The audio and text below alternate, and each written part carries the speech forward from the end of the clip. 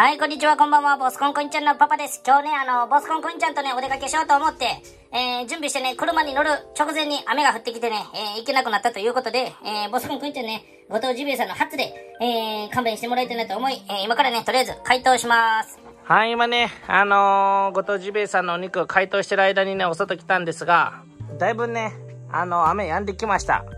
止んできたんですが、まだね、えー、小雨が降っていて、この後のね、降水確率見ていると、またね、雨が強くなるよとことなんで、雨が強くなるとのいうことなんで、なんか日本語おかしかったな。えー、もうね、今日はお出かけ行けませんが、まあね、ボスくん、ボスくんはね、あの、ご当ジビエさんのね、ジビエで納得できます。やっぱね、美味しいです。美味しい美味しいとね。で、コインちゃんなんですが、コインちゃんはね、どうしてもお出かけしたい。でもね、今日はね、無理なんですよね。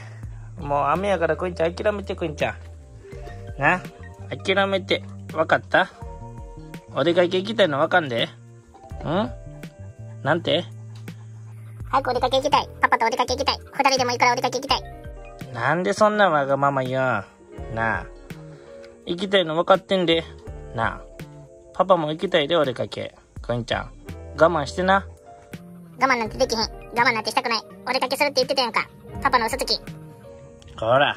なんでそんなこと言うん？ってね、えー、多分ね、こんな感じかと思います。ね、クイーンちゃん、かわいいね、よしよし。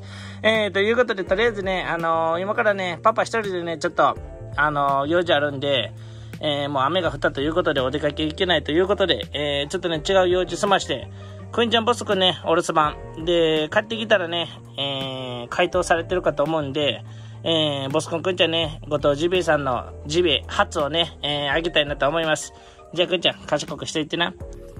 連れてけー。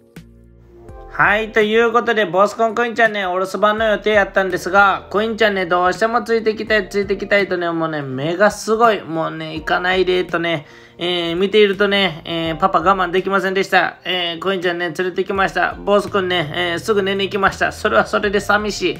で、帰ってからね、ボスコンコインちゃん、ご当地ジベさんのね、お肉、えーあげたんですが、えーもうそちらの動画はね、えーもう撮影しておりません。またね、違う日に、えーご当地ジベさんの動画、えージビエのお肉食べてるボスコンコインちゃん見ていただけたらなと思います。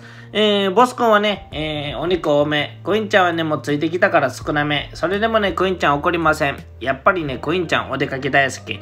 もうボスくんはね、出かけるのよりね、食べるのが大好きなんで、えー美味しいご当地ジビエ、えー美味しくいただきました。えーいつもボスコンクインちゃんを見てくださりありがとうございます。えー帰りしなクインちゃんもこんな感じでね、もうだらーんとしておりました。どうでしょうかなんかね、黒豚のようにも見えます。なんか、クインちゃん、面白い。えー、ということでエンディング入りましたが、もしね、今日の動画もいいねと思った方は、いいね、コメント、チャンネル登録よろしくお願いします。えー、最近ちょっとね、YouTube、コメントね、えー返事ができてない日が続いていますが、えーしっかりね、読んでいますので、えもしよければね、えそれでもいいよという方はコメントいただけたら嬉しいです。で、インスタグラムはね、え頑張ってね、コメント返していますので、えーインスタグラム気になる方は渡辺ボスで検索してフォローしていただけると嬉しいです。え今日も一日お疲れ様でした。素敵な夜をお過ごしください。